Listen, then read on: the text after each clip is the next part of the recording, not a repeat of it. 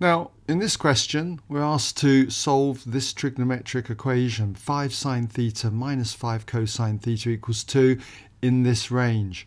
And there's several ways that we can do this. I often find that students want to square both sides of the equation. Yes, you can do this, and I've done it in another video. It's not a method though that is easy. You've got to take care with solutions. No, the method that I prefer to use is this method where we take this harmonic formula and rewrite this expression in this form, r sine of theta minus alpha. This equation has this particular form. If you're unsure of this, do go back and check out tutorials on harmonic formula on my website, okay? It's a very quick, easy method once you get used to it. So what we've got here then is 5 sine theta minus 5 cosine theta. It's got this form here. If we were to write that in, you can see that it's identical in form to a sine theta minus b cosine theta, where a is 5 and b is 5. And we can see that the r is the result of square rooting a squared plus b squared. So if you were to do that, r is the result of square rooting 5 squared plus 5 squared. Well, that's going to be 25 times 2, root 50, but keeping it in this form, you can split it up using the laws of surds. The square root of 25 is 5, and we'll just do the root of 2. Just leave it as root 2. So that's our value for r. And alpha is the inverse tan of b over a. So that's going to be the inverse tan of 5 over 5, which leads to the inverse tan of 1, which is 45 degrees. So that means that we can express our equation here using this result, r sine of theta minus alpha, we can express it as 5 root 2 sine of theta minus 45 degrees and that equals 2.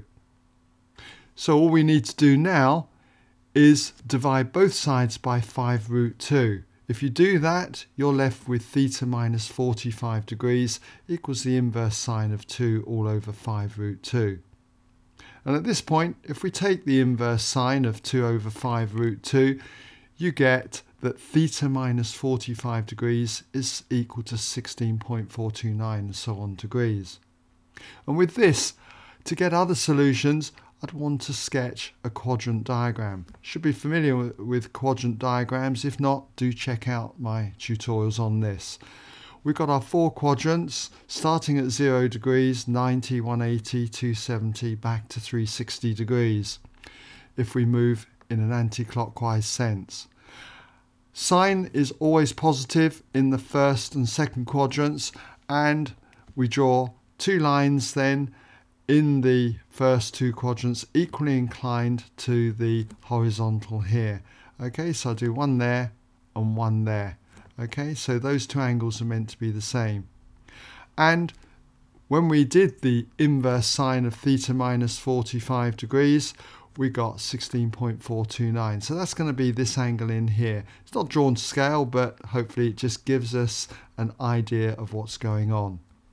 So we want one of those angles. This is one of them. This is our first one in the range 0 to 360 degrees, which is a possible value for theta minus 45 degrees.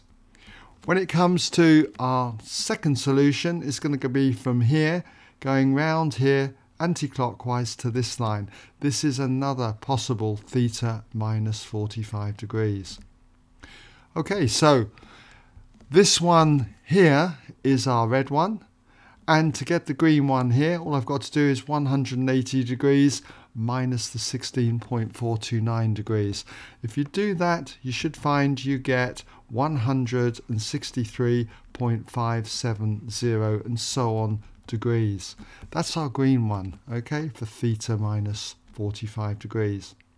So it's just a question of adding 45 degrees to both of these answers. If you do that, you'll get these two results here. And then I just need to round these up to one decimal place. And if you do that, you end up with our two answers, theta being 61.4 degrees and 208.6 degrees, both to one decimal place then. Okay, so I prefer this method compared to a squaring method. As I say, you can check that out in the other video that I've done that accompanies this one. Okay, if you're on my website, you should see it. Okay, so uh, there we go. Hope you've been able to follow that.